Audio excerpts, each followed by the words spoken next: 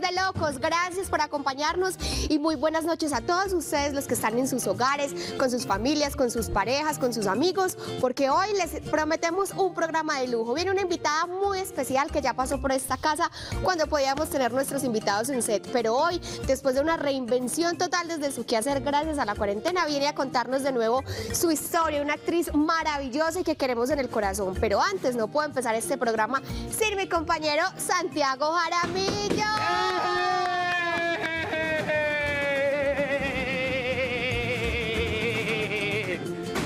Medellinenses, antioqueños, colombianos, habitantes del orbe y de las...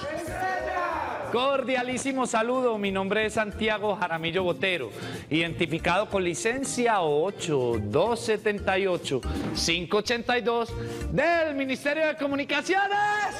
Intergaláctica. Lo que me permite comunicarme más allá del orbe con todas sus estrellas. Esto es de locos. Usted fiel telemedellinense, nuestra razón de ser. Aquí hacemos mecenazgo de arte y cultura de la mano de sus protagonistas. Y tenemos una primerísima, primera invitada, como lo había dicho, Carolina Flores Ospina.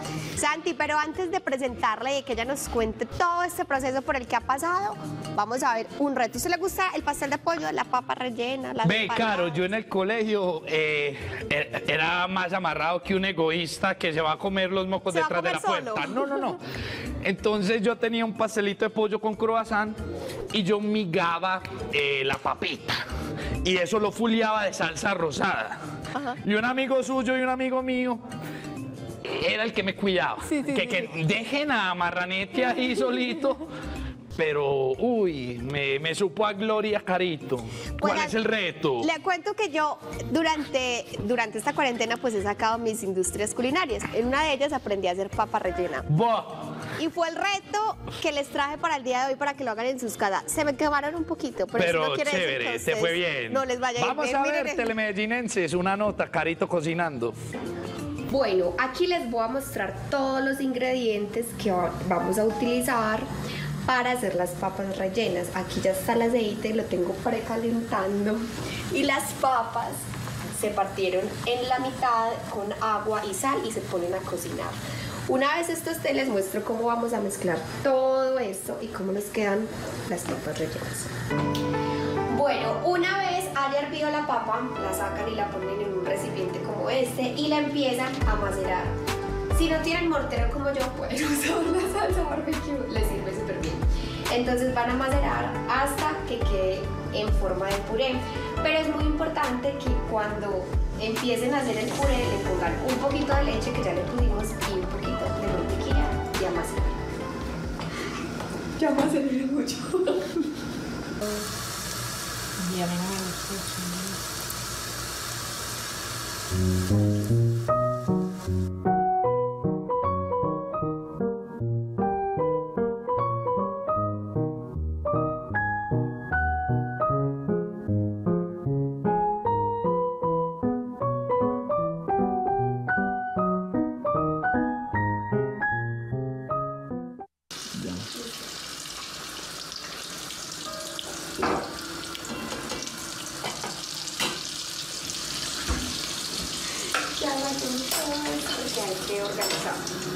Que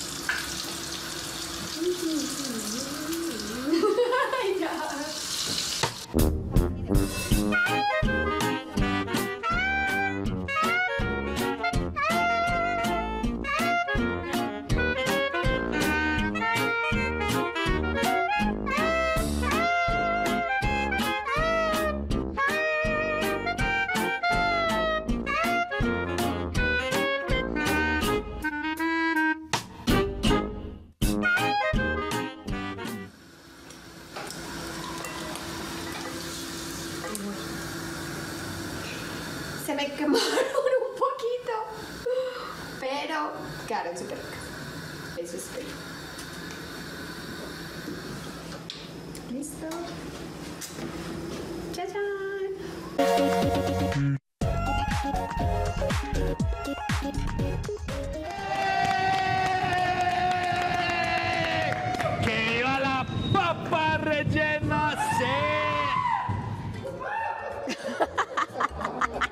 Oiga, y después uno sale a la calle y es que, ay, mira el loco. Ay, ay, ay, por favor. Señoras y señores, ya le damos paso a alguien muy conocido que nació un 17 de febrero de 1964. Adivinen dónde. Medellín. Es medellinense, es una gran artista. Recibamos con un fuerte aplauso que se va a caer en el canal Parque Gabriel García Márquez a doña Carmen esa, esa, fecha de nacimiento la tiene usted mal, la sacó de Facebook y ahí está equivocada. Ay, pero mírame qué ponchada, que nadie se entere. Sí, muy de, de, dejémosla por ahí, dejémosla por ahí. Dejémosla en que te ves hermosa, radiante, de que estás a full con tu proyecto y que además tengo que preguntarte si te gusta la papa rellena con ají. ¿Verdad? Sí, qué delicia, te quedaron deliciosas. Qué delicia una papa, me antojaste. Hace rato no me la como. Carmenza, y es que yo creo que esas cosas típicas es que nos tenemos que pegar para uno empezar a indagar. Cuando ha recurrido o ha, transitado a lo largo de la historia, tú que llevas tanto tiempo fuera de nuestra ciudad, empecemos hablando qué es lo que más extrañas de Medellín, eh, de su gastronomía y que además estás en una época donde estás encerradita, donde estás en tu casita. Cuéntanos. No, pues yo realmente extraño de Medellín todo. A mí me parece que Medellín es una ciudad que la tiene uno como en el alma, en el ADN. Eh, es parte de, tiene toda mi historia personal, mi niñez. Eh, y extraño toda también la gastronomía porque en Medellín se come muy rico, sobre todo se me catea muy rico. En Medellín se comen empanadas muy ricas en lugares increíbles, se come uno, ah, también unos ceviches deliciosos en lugares donde uno menos se imagina. Es decir, Medellín es muy rico para mecatear, para comerse de pronto unos pan de yucas. Em, yo, yo te digo que pues yo no soy tan mecatera ahora como era antes, pero cada que voy a Medellín todos los, todo el apetito que, del que tanto me cuido ya lo pierdo y me, me parece delicioso, unos pasteles Gloria, o sea, no, no, no, hablemos. Extraña, da hambre a esta hora de la noche, apreciada Carmen Sacos. Exacto. Vemos pues que dentro de tu grandísimo relato y tantas producciones, existe una que se llama Loco por Vos, Loco por Vos de, este año. Loco por Vos debemos estar absolutamente todos en algún momento por alguna fémina o por algún caballero. Primero decirte cómo está ese corazoncito porque eres divina. Y dos, que nos cuentes un poquitico de eso que te acabo de mencionar, de Loco por Vos. Eh, sí, Loco por Vos fue la película que hicimos de Dínamo, que además fue en todo un contexto antioqueño, que es la historia de esta chica antioqueña que se enamora de un rolo y para la familia es como lo peor que les pudo haber pasado. Entonces está en Netflix y es, y es muy divertida, le ha ido muy bien, gozamos mucho haciéndola además pues muy antioqueña, o sea que los paisajes antioqueños, la historia muy paisa, está Raycon en el elenco que no puede ser más paisa, eh, eh, eso, eso, fue demasiado, eso fue demasiado divertido y bueno, espero que se la vean o que si no la han visto porque está muy chévere. Y, y, de corazoncito, yo siempre he estado bien del corazón, ¿sabes? Porque aún en las, en las, épocas en que he estado sin una pareja sentimental, eh, digamos que he trabajado mucho toda mi vida por ser una gran compañía para mí misma. Qué bien. Entonces, cuando no tengo una pareja sentimental, un chico que me esté calentando la oreja, eh, estoy, estoy, estoy leyendo, estoy escribiendo, estoy creando porque amo este trabajo, o sea que siempre estoy muy bien acompañada de mí misma por lo menos. Qué bueno, qué bueno, Carmenza. Y pasemos a un tema muy importante. Tú ya estuviste en esta casa y estuvimos hablando de la cosio desnuda. Pero dadas las circunstancias, tuviste que reinventarte como muchos artistas. Y si bien tu, tu show es algo que uno que no es un drama, pero tiene tintes de comedia, que también eh, tiene tintes de tragedia, ¿cómo hacer en este momento para que sigas transmitiendo esa energía y uno sentirse en la casa de un amigo charlando y, y conversando como tú cuentas tu historia. Exactamente, lo que acabaste de decir es tal cual porque digamos que eh, esa palabra reinvención que está tan trillada, me parece que eh, de todas maneras, de, o sea, de alguna manera a este medio artístico eh, le ha tocado mutar a nuevas posibilidades y aprovechar el mundo virtual para llegar a, a las empresas, a los hogares, a la gente, digamos, que se entusiasma con ver y con escuchar una historia de vida de boca de su protagonista eh, de manera virtual, pero la única diferencia es que es en vivo y en directo porque solamente se pacta con, la empresa una hora, un día y nos encontramos de manera virtual, entonces ahí digamos que está, viene el relato que es bellísimo, como tú dices, tiene un poco de todo, porque es como la vida de, de todos los seres humanos, la vida, uno pasa por todas las etapas de la vida y hay momentos maravillosos, pero uno también pasa por momentos muy difíciles y ahí está la empatía con el otro, en que nos vemos reflejados de alguna manera en que a todos nos pasa realmente cosas lindas y cosas difíciles en la vida, pero lo chévere es, porque, es que la empresa comparte esta experiencia con sus empleados, no importa dónde se encuentren, comparte el link y nos conectamos a una hora exacta, un día exacto y contamos esta historia que es divina y bueno, la gente queda matada y yo sí que quedo feliz. Y estamos matados de la dicha a esta hora de la noche viendo una de las primeras actrices de nuestra nación, Carmen Patricia Cosio. Señoras y señores, esta hermosa dama también es madre de una gran actriz, de Mónica Lopera. Yo te quiero preguntar es, ¿cómo mantienen ustedes ese lazo de amistad? Porque uno lo que ve en redes sociales es que son amigas, son parceras, como decimos aquí en la urbe. Qué bonito eso. ¿Cómo has logrado eso para mantener ese vínculo tan arraigado con tu hija? Claro, porque eso se construye desde, desde, que, desde que nace, o sea, el vínculo con un hijo se construye. Muchas veces eh, pienso que hay relaciones que, que no son tan eh, saludables ni tan bonitas como esta mía con Mónica eh, y que hay mamás capaz, capaces y, e hijas capaces de enderezar la relación a lo largo del camino, que eso es también lindísimo, pero esta hemos tenido la suerte de, de que la construimos desde que Mónica nació, desde que llegó a mi vida y hemos sido parceras amigas, cómplices, eh, pero sin olvidar nunca que la mamá es la mamá, porque me parece que es importante que la mamá tenga una autoridad y un respeto especial y eso ha sabido manejarlo y comprenderlo muy bien Mónica a lo largo de la vida. Entonces eso ha hecho que construyamos una relación basada en el respeto, en las diferencias, porque somos distintas, pero nos divertimos mucho juntas, nos amamos profundamente, nos hacemos mucha falta. Cuando estamos juntas no nos separamos un segundo y cuando estamos estamos separadas, la tecnología nos une mucho, nos ayuda mucho, nos hacemos videos todo el tiempo, eh, nos hacemos FaceTime, nos, eh, ella me muestra su receta, yo le muestro la mía. Es decir, estamos comunicadas todo el tiempo porque la tecnología es de verdad, por favor, un privilegio. Qué dicha. Anímese a hacer eh, arepita rellena, como lo hizo la flor telemedellínense. Entonces pueden hacer un FaceTime, venga gorda. Acá no hay ocho uvas, extrañamos mucho a Medellín para que hagan papa rellenita, que es sin duda ninguna algo de nuestro acervo culinario. Apreciada Carmen. Exacto, exacto, exacto. Carmenza, dentro de los retos más grandes, yo me imagino, pues que has tenido que es volver este show, entre comillas, esta conversación, volverla digital. ¿Qué te ha enseñado de pronto esta nueva faceta? Si de pronto cuando, cuando te conectas te sorprendes que de pronto al show se conecten personas de diferentes partes del mundo.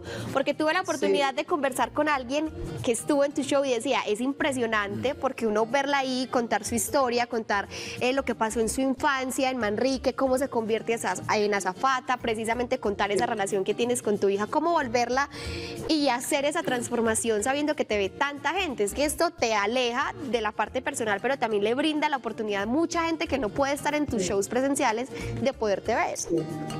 Así es, lo que estás diciendo es muy bonito porque la magia del teatro es irreemplazable. La cercanía es, digamos, que los privilegios más grandes que, tienen el, que tiene el teatro porque, digamos, que esa convivencia, ese convivio es em, irreemplazable. Pero en este caso, con la tecnología, lo que tú dices es así, es verdad. E, es lindísimo que uno sepa que en París o que en Suiza, como pasó ahora en esta temporada, o que en... Abejorral. En- bueno, en Abejorral o en Bilboa, en cualquier parte del mundo lo están a uno oyendo, están a uno oyendo la historia, exacto, o en Villavicencio, donde tú quieras, en cualquier rincón de Colombia, que también son divinos todos. Entonces, eh, ¿qué, qué es lo que, ¿sabes qué es lo que me ha parecido? Que eh, es tan fuerte de alguna manera la conexión y es tan, es tan de alguna manera tan bonito el estar en vivo también en directo que la adrenalina se le parece. Uno tiene una responsabilidad muy grande para que todo funcione, para que la tecnología no se caiga, para que el internet funcione, para que lo escuchen a uno y lo vean con la claridad que nos estamos viendo en este momento nosotros, ustedes conmigo. Así que es, es lindísimo porque también al final de, del evento, eh, del monólogo, a veces me mandan unas preguntas muy lindas, muy puntuales. Tenemos una conversación que usualmente en el teatro pues no puede pasar porque uno se baja del escenario, la gente ya se ha ido y uno se va para su casa. Así que eh, es también, digamos que una manera muy interesante y un acercamiento muy interesante en la virtualidad con esto que uno hace tan bello que pues es arte. Eh, es muy distinta la experiencia, no hay comparación, pero es una posibilidad bellísima de no desconectarse, de no dejar de hacer lo que a uno tanto le gusta, de no dejar contar esta historia tan bella, de que la gente tenga la posibilidad, no importa dónde esté, de oírla y de verlo a uno. Eso es yo creo que de las cosas más lindas que han, ha- han pasado en esta cuarentena, en, esta, en este aislamiento obligatorio. Y, y qué te digo yo, pues ha sido muy lindo, esperamos repetirlo muy pronto. Lo vamos a repetir muy pronto como doña Carmenza lo decía, señoras y señores, nunca nos vimos obligados a utilizar las nuevas tecnologías. Sí o sí, hágalo usted, llame al abuelito, llame a la novia, de pronto a la exnovia y vuelven de novios. Señoras y señores, estamos pasando súper sabroso con la primera dama de la televisión colombiana, Carmen Sacocio. Ya regresamos, esto es de Crazies.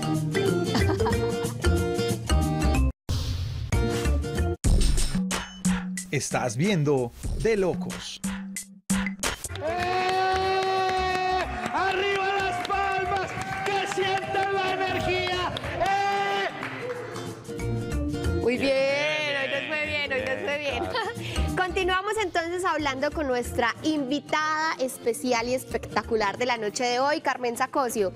Carmencita, pasemos entonces, te quiero preguntar, cuando tú pensaste este proyecto, ¿por qué la Cosio desnuda? Ajá. Bueno, lo, de- definitivamente lo pensé y fui, digamos que, la creadora del nombre en, Exacto. alguna- de- en cierta parte con mi director, porque me parece que desnudarse es revelar muchas cosas. Cuando tú te desnudas, eh, muestras lo que tienes eh, eh, físicamente, muestras tus encantos o tus, de- o tus desencantos. Y me parece que en la cosa desnuda pasa exactamente lo mismo, porque en la, la vida es llena de encantos y de desencantos. Y entonces sin quitarme la ropa, hago que la gente de alguna manera pase por esa historia eh, y mire y sienta en qué se parece, en qué dista de la vida de ellos. Es realmente desnudar el alma porque hablar de intimidades y de cosas difíciles me parece que eh, requiere de valor de, de berraquera y, me, y asimismo desnudarse. Desnudarse siempre requiere como de, Valentía. eh, digamos que, de valentía, exactamente. Y entonces de alguna manera por eso se le, le va muy bien a ese apellido mío, al acocio, el desnuda, porque eso es lo que hago durante eh, esa hora eh, de- del relato, de verdad empelotarme completamente. Y acá te estamos empelotando, pero de manera divertida, conociendo más allá de esa grandísima mujer y espectacular actriz, doña Carmen Sacosi. Aprovechando que te tenemos aquí, muchas de las personas que quizás nos, que quizás nos ven no han tenido la oportunidad de ir a disfrutar una obra de teatro. En tu caso, eh, cuando hablas nuevamente de tu historia, de todo lo que pasas en la vida, de cómo llegas a ser hoy la gran actriz y profesional que eres para nosotros y todos los colombianos, de pronto en tu ser interior todavía se mueven cositas, te dan tristezas, las mismas cosas, alegrías, las mismas cosas, o sin embargo ya hoy puedes contar tu historia con total tranquilidad sin sentirte más. Sí, eh, claro que te tengo que confesar que cuando escribí el monólogo, que me demoré un tiempo largo en hacerlo, eh, me costó un montón pasar por ciertos pasajes porque me tocó recordar cosas que son muy dolorosas y me pegué mis lloraditas y, y me, y, me, y me conmoví, digamos que eh, tenía momentos en que me conmovía mucho, me conectaba mucho con mis papás y por pasajes difíciles que pasamos juntos, me parece que también lo lindo de, de oír la historia es que yo la siento un montón, la vivo muchísimo, muchísimo, y eso se nota, se nota mucho. Es como cuando vos hablas de una traga y, te saboreas hablando de esa traga eh, o, de esa papa rellena que hiciste ahora. Es que es una cosa muy bonita porque es un disfrute eh, que está implícito en eso que tú estás narrando. Entonces sí, claro que pasa uno por momentos muy difíciles y claro que sí se pega uno sus lloriqueadas, pero hoy en día lo hago desde el recuerdo, desde la tranquilidad, desde estar en paz conmigo misma y entender qué es la vida y que la vida tiene cosas difíciles, pero que pues que qué bueno pasar la página y seguir adelante porque eh, cada día es como muy sorpresivo y qué rico haber podido tener, digamos que la oportunidad de escribirlo, de contarlo, un privilegio enorme, enorme me parece a mí. Carmenza, qué rico que nos hayas acompañado para que vamos finalizando. ¿Qué tienen que hacer todas las personas que quieran acceder a tu show? Claro que sí, mira, eh, yo lo, estamos haciendo ahora de manera virtual y trabajándolo a manera, de manera empresarial, así que hay un correo que se llama lacociodesnuda.gmail.com donde nos pueden escribir eh, eh, hacernos las preguntas que, que, que tengan, digamos, por hacernos con respecto al espectáculo. Ahí recibimos todas las sugerencias, todas las preguntas y les contestamos inmediatamente porque yo creo que ahora lo único que estamos haciendo es haciéndolo de esa manera, trabajando con las empresas para las épocas de amor y amistad, viene, viene fin de año, digamos que es la manera más directa de decirte cómo se pueden comunicar con nosotros. Perfecto. Carmen Sacosio, pregunta de sí o no y usted es sabia, ¿crees en las buenas energías? Claro que sí. Señoras y señores, nada más por ese requisito fundamental de tener fe en algo que existe, le vamos a enviar los electrochoques de la buena suerte. Ustedes en casita, ayúdenme para recargar de buena energía a la primera dama de la televisión colombiana, doña Carmen Sacosio. Se vienen los electrochoques de la buena suerte en 3, 2, 1, ignition sequence start. Los electrochoques de la buena suerte, señoras y señores.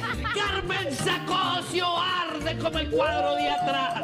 Está rostizada, doña Carmen Sacosio. Le va a poner la queja a Mónica Lopera, gracias. Gracias por tu tiempo y por estar de nuevo con nosotros aquí en De Locos. Muchísimos éxitos para ti. A ustedes muchas gracias por esta invitación, por esa entrevista tan bella. Les deseo lo mejor, cuídense mucho. Gracias. Gracias a Carmenza y gracias a ustedes, apreciados telemedellínenses. Los dejamos con un reto, un reto de boxeo en el cual quiero explicarte por qué Antonio Cervantes, el Kid Pambele, ha sido el máximo pugilista de la historia de nuestra nación. Esa es la historia de un hombre que tengo. Todos vivimos la historia y aún queda el recuerdo. Lo conocí por la tele muy de madrugada.